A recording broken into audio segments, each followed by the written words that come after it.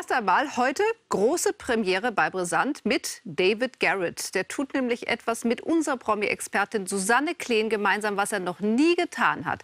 Und es wird dabei sehr privat, ein bisschen schlüpfrig und man braucht zwischenzeitlich mal starke Nerven. Und ja klar, wir reden auch über das neue Album, das ist da und seine neue Liebe, auch über schwere Zeiten. Und jetzt wird's äh, heiß und fettig und lecker.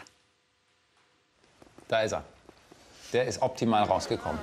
Dass David Garrett Fingerspitzengefühl hat, wissen wir. Aber heute präsentiert er erstmals eine ganz neue Seite von sich. Guck mal, wie schön hier die ganzen Damen rauskommen. Das muss man mal hier zeigen. Hier.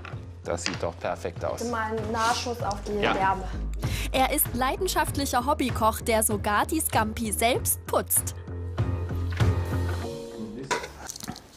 Wir machen einen ähm, Tomatensalat mit ein bisschen Argento Balsamico. Dann machen wir noch ein paar äh, Scampi in der Pfanne mit ein bisschen Knoblauch. Ich nenne das eigentlich so Corona-gerechtes Gericht, weil bei so viel Zwiebeln und Knoblauch ähm, halten die Leute genug Abstand. Im Grunde genommen hat die Pandemie David erst richtig an die Töpfe gebracht. Während des Lockdowns hatte der Stargeiger zum ersten Mal seit Jahren wirklich Zeit dafür, sich selbst um sein Essen zu kümmern. Neben seinem neuen Hobby Fotografie hat er deshalb auch ratzfatz sein Können am Herd ausgebaut. Hat dir das denn mal irgendjemand beigebracht? Ja, meine Mutter. Echt, ja? Bisschen, ja. Und wie alt warst du da? 29, 30. Ich habe früher nicht gekocht. Also als Kind war, war da der, der Fokus irgendwo ganz woanders bei der Musik.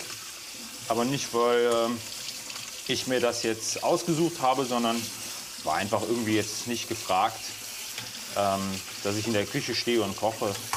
Mein Bruder hat das schon öfters gemacht, also meiner Mutter da unter die Arme gegriffen, aber ich war irgendwie beim, ich erinnere mich irgendwie, ich habe immer nur geübt, wenn, wenn gekocht wurde. Spielte da auch vielleicht äh, Angst eine Rolle, dass du dich in den Finger schnippelst und dann eine Weile nicht spielen kannst? Also ich, vielleicht, also nicht bei mir. Einmal kurz ins Dinkelmehl, zack rein. Inzwischen lässt sich David Garrett durch nichts mehr bremsen, auch nicht durch die Panne mit der Pfanne. Die ist nämlich extra für den Dreh geliehen, weil sie besonders groß ist und passt nun aber nicht richtig auf den Induktionsherd, der dadurch immer wieder ausgeht. Das ist die Pfanne. Die Pfanne ist zu groß. David Garrett disponiert spontan um und zeigt, man kann zur Not auch eine kleine Kasserole nehmen. Das heißt, muss man ja auch manchmal ein bisschen improvisieren. Das ist ja gar nicht schlimm. Ist ja in der Musik auch so.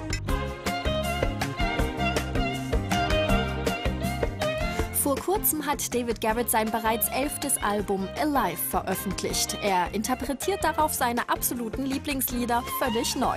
Anfang 2022 will er damit auch wieder die großen Hallen füllen. Der Vorverkauf für die Tour beginnt schon am 28. Oktober. Wie sehr setzten dich das unter Druck, immer wieder so ein neues Thema zu finden? Überhaupt gar nicht. Echt? Ich, ich könnte 20 Alben machen. Ach. Ja, ich habe wirklich sehr, sehr viele Ideen und, möchte auch noch viel umsetzen. Mhm. Ich mache das, was ich gerne machen möchte und das mache ich mit Spaß. Und wenn ich keinen Spaß habe, dann mache ich es nicht.